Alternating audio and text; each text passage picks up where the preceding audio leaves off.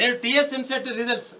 ఇక ఉదయం తొమ్మిది గంటల ముప్పై నిమిషాలకు విడుదల. మాసప్ ట్యాంక్ జేఎన్టీయూలో రిలీజ్ వెల్లడించిన కన్వీనర్ బి డీన్ కుమార్ అంట.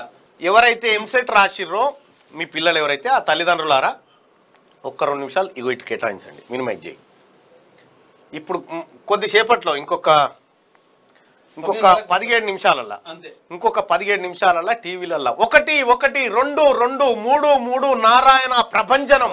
శ్రీ చైతన్య దుమ్ము లేపుతుంది అని చెప్పి ఇప్పుడు వస్తాయి ఇక జర సేపట్ల జర తొందర పడకుర్రి జర వేడి చేయరి శ్రీ చైతన్య. నారాయణ. ఈ కాలేజీలు. వీనికో మూడు వందల కాలేజీలు ఉంటాయి వీనికో మూడు వందల కాలేజీలు ఉంటాయి ఇక ఇక్కడ ప్రభుత్వ పాఠశాలలు ప్రభుత్వ కాలేజీలు ఉంటాయి చూడు ఇంట్లో అటో ఇటో బాగా కష్టపడి చదివి అన్నమో మెతుకులో దీని బాగా చదివే పొరగాలు ఉంటారు చూడు. ఈ వీళ్ళ యొక్క ఆరు వందల కాలేజీలు ఉన్నాయనుకో ఈ ఆరు వందల కాలేజీల్లో అంతో ఇంతో కష్టపడి బాగా చదివిన పొరగాళ్ళు ఉంటారుగా. పొరగాళ్ళు ఈ పొరగాళ్ళు ఈ ఈ ఐదు వందల మంది పొరగాళ్ళని ఏం చేస్తారంటే వీడు రెండు వందల యాభై మందిని ఎత్తుకపోతాడు వీడు రెండు వందల యాభై మందిని ఎత్తుకపోతాడు. ఎత్తుకపోయి ఏం చేస్తాడు? నీకు ఫ్రీ చదువురా నాయన.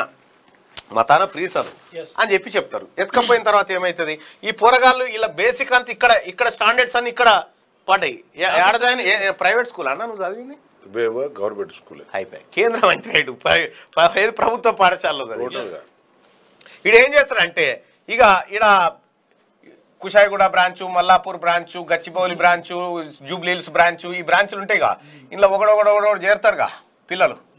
ఇలా చేర్చుకుంటారు. ఇలా చేర్చుకున్న తర్వాత ఏం చేస్తారంటే ఈ పిల్లలలో ఈ ఈ మూడు వందల బ్రాంచ్లలో అరవై మంది పొరగాలను నేర్తారు. సేమ్ ఇది కూడా. అరవై మంది పొరగాలను నేర్తారు ఈ అరవై మందికి చదువు వస్తానికి కారణం నారాయణ కాదు శ్రీ చైతన్య కాదు. ఈడ చదువుకున్న సార్లు వాళ్ళని మెరుగు చేసిరు ఈ అరవై మందిని తీసుకుపోయి మాదాపూర్లో ఒక బ్రాంచ్ ఉంటుంది. ఏది? శ్రీ చైతన్యకు ఒక బ్రాంచ్ ఉంటుంది నారాయణకు ఒక బ్రాంచ్ ఉంటుంది మాదాపూర్లో. ఈ ఇక్కడ ఏం చేస్తారంటే ఈ అరవై మందికి ప్రత్యేక శిక్షణ కార్యక్రమాలు పెడతారు. పెట్టి వీళ్ళకు స్పెషల్ కోచింగ్లు పెట్టి వీళ్ళకి ఏం చేస్తారంటే ఎంసెట్ రాపిస్తే వీళ్ళకి ర్యాంకులు వస్తాయి. ఎందుకంటే వాళ్ళు టాపర్సే టాపర్స్ తీసుకపోయి ఇక్కడ కూర్చుండే పెట్టి చదివిపించి చేస్తారు ఇక వీళ్ళకు ర్యాంకులు వస్తాయి కదా. ఒకటి రెండు మూడు నాలుగు ఐదు ఐదు ఆరు ఆరు అని వస్తాయి కదా.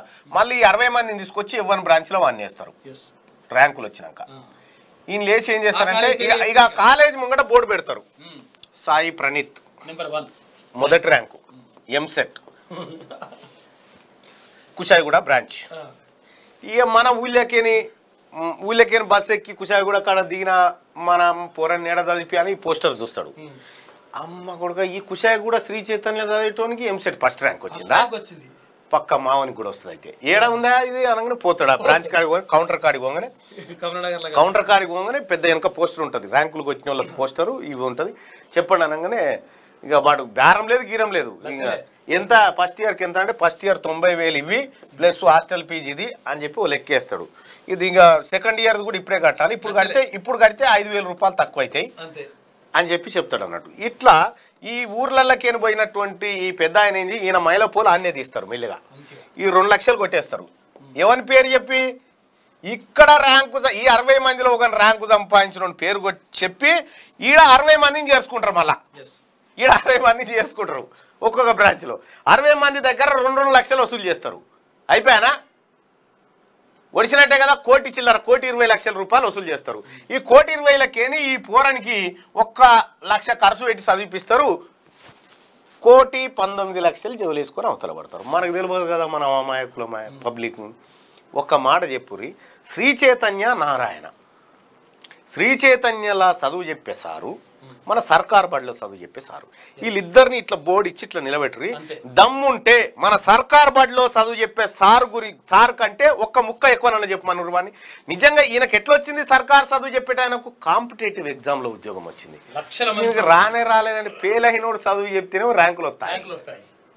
ఎక్కడి నుంచి వస్తాయి? ప్రజలారా తల్లిదండ్రులారా ఆలోచించండి. మరి కాసేపట్లో వచ్చే ఒకటి ఒకటి రెండు రెండు మూడు మూడును చూసి బోల్తా పడకురి నిజంగా శ్రీ చైతన్యలో నారాయణలో అందరి బతుకులే మారేది ఉంటే లక్షలాది మంది పిల్లలు చదువుతారు కదా. మరి విద్య ఎట్లుండాలి మరి? ఎట్లా ఉండాలి పరిస్థితి? ఏ ఉండదు. ఈ ఈ అరవై మంది అసలు కథ. ఈ అరవై మంది కూడా ఎడికెళ్ళి ఈ సర్కార్ బళ్ళలో చదువుకున్న పొరగాలి. దయచేసి తల్లిదండ్రులారా మోసపోకండి. మన బతుకులు మారాలంటే సర్కారు విద్యలో. మెరుగైనటువంటి ఏది ఇన్వెస్ట్మెంట్లు జరగాలి.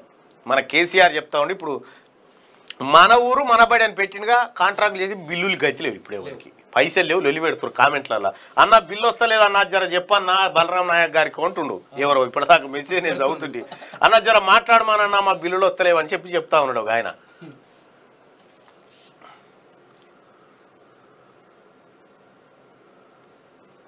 అది ఎటు పోయిందో? చాలా చాలాసేపు ఆయన పెట్టి అందుకోసమే తల్లిదండ్రులారా నేను చెప్తున్నా సర్కార్ బడి సారే సరైన సారు. ఆయనకు అవకాశం లేక చెప్పే బల్పాల పైసలు లేక బడులు చక్కగా లేక వాతావరణం క్రియేట్ చేయక. ఇగో నిన్న సార్ అనే మూవీ చూసిన నేను. ప్రైవేట్ కాలేజ్ వాడు ఎట్లుంటాడు ఆ తర్వాత గవర్నమెంట్ కాలేజ్ ఎట్లుంటుంది అనేది ప్రజలారా గవర్నమెంట్ అంటే మనము. మన బడిని మనం ఆగం చేసుకొని ఈ దొంగలకు సర్దిగడదామా? శ్రీ చైతన్య నారాయణుడికి ఏం చెప్తారా? వీడు వీడు సంపాదించిన ఈ కోటి పంతొమ్మిది లక్షలకేని ఓ పంతొమ్మిది లక్షలు తీసుకుపోయి కేసీఆర్ జేబులో పోసి వస్తాడు. ఇట్లా తీసుకో అని పోసి రాగానే మనం ఆ, వాడు ఈయనేమన్నాడు వీడు వాడినేమన్నాడు. మన మైల పోలు వెళ్తాయి. నూటికి వంద రూపాయలు ఒక పెద్ద ఆయన సంపాదిస్తే నూటికి తొంభై రూపాయలు పిల్లల చదువులకు దవాఖానకే అవుతాయి. ఇవి రెండు అందుకే విద్యా వైద్యం బాగుపడాలని చెప్తా ఉన్నా. విద్యా వైద్యంలో నలభై శాతం బడ్జెట్ ఈ రెండు రంగాలకు కేటాయించాలని చెప్తా ఉన్నా.